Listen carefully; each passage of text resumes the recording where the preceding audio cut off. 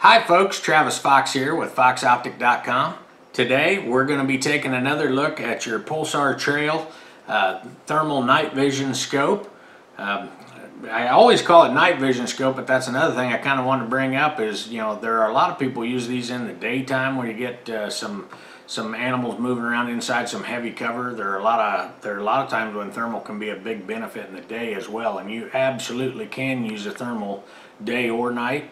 But uh, in this video, we're going to be taking a look at the different reticle options that you have inside of your scope. And I think the easiest way to take a look at that is going to be on the Stream Vision application. So we're going to go down inside the menu. And as you can see right now, I've got uh, basically like a circle uh, dot duplex reticle up there. Um, I'm going to show you up against that light, you can see where the center of that's black. Uh, but anyways, we're going to go inside the menu with a long D press on the center menu button. Uh, if I needed to, I would use my up, uh, down buttons here, which are the buttons immediately above or below uh, the center square button to select the reticle setup. And then inside the reticle setup, uh, you can see that there is the reticle that I'm on, and you can use those up, down buttons again to scroll through and look at the different reticles that are available. And as you can see, there are 13 reticles inside the device that you have to choose from. Uh, pretty wide uh, variety and a range of reticles for different applications. a lot of them have a ranging function, uh, which will make it easier to figure out the distance to the target. Uh, this is one of my favorite reticles, and I'll show you kind of why here in a minute, so I'm going to stay on that reticle. But if you did want to switch between reticles, like let's say I wanted to use that one, uh, whichever one you're highlighted on, then once you're highlighted on it, a quick tap on your center square will lock that in as your choice. Uh, so again, I'm going to go back to the X54i, which is, is one of my kind of standbys.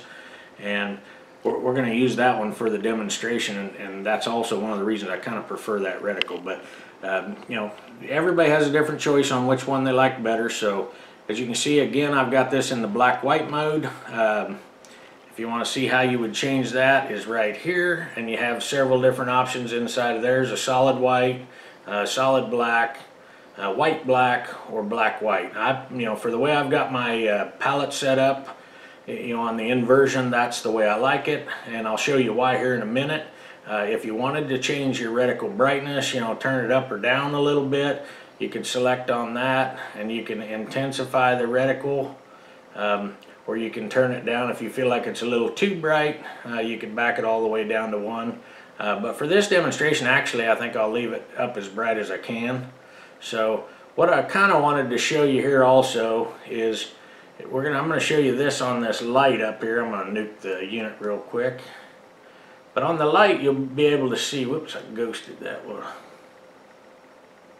got it in manual. Hang on just a second here and I'll get that cleared up. I, I forgot that I left this in manual, so I'm going to have to manually nuke it. I've got it cleared up there now. So now that I'm up there on the light, uh, you can see that the center of my reticle is black on the white target. Where I like that is, is if I was in white hot of an evening and I'm out there hunting, most of my background other than my target subject is going to be dark and if my target subject is going to be light, then that gives me a good contrast. So when I'm placing my, my reticle on to take my actual shot, I get a good contrasting difference between them. Also, if my target starts running, I get a good difference in contrast between the background, you know, uh, ground around my target and those, the plexus coming out off of the center of there so that it helps me uh, when I'm trying to figure out for like a running shot where to where to gap out.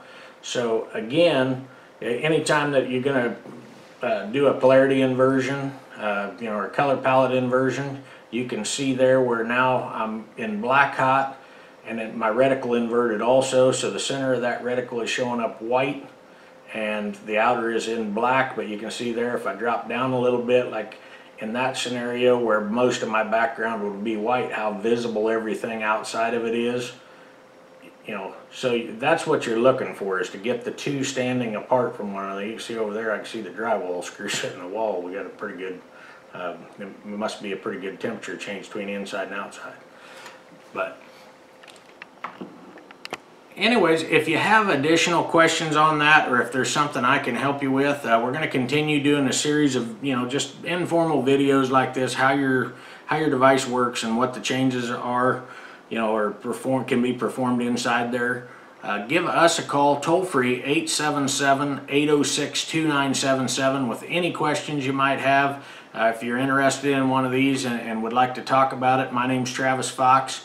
Uh, my company is Fox Optic. You can check us out on the web, www.foxoptic.com. Thanks a lot and have a great day.